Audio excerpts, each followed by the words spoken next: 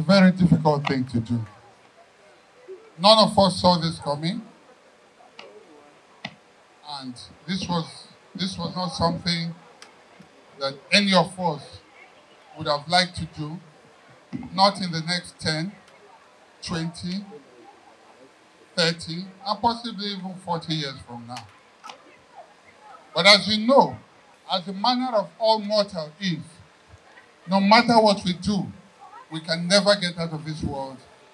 Peace, Anya Mosigwe, in the little time that she has spent with us, has impacted lives greatly.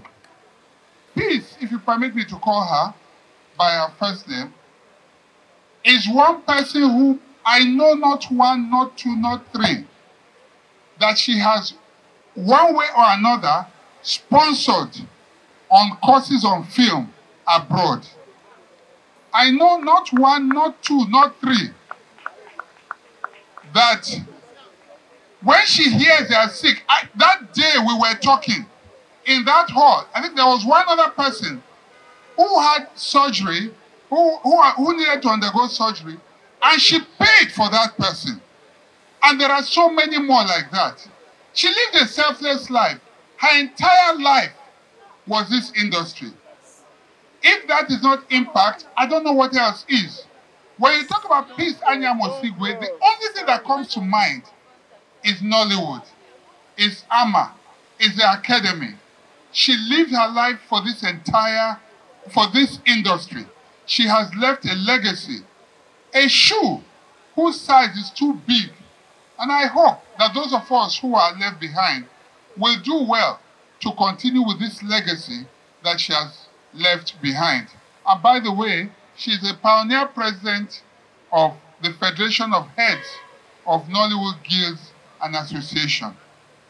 We lost in her a, pres a visionary president, somebody who, if we needed to meet the minister, we didn't need any external co uh, connection. She, with a phone call, she could meet the minister.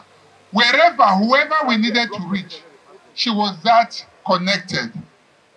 She used her connection for the industry. She used her connection for the betterment of members of Nollywood. And as we gather here today, I say this is not about whatever prosperity, it is about posterity. She has done her bit. She has made an impact, not only in Nigeria, but across the continent. And I stand here today on behalf of all the guilds and associations in Nollywood to say we celebrate this Amazon of Nollywood.